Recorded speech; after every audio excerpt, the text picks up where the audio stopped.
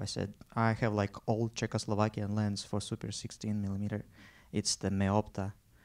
Uh, it's very soft as you see, so when they are both together, so it's very glowy and moody. So this is the look. What he said, they cool. Let's use it.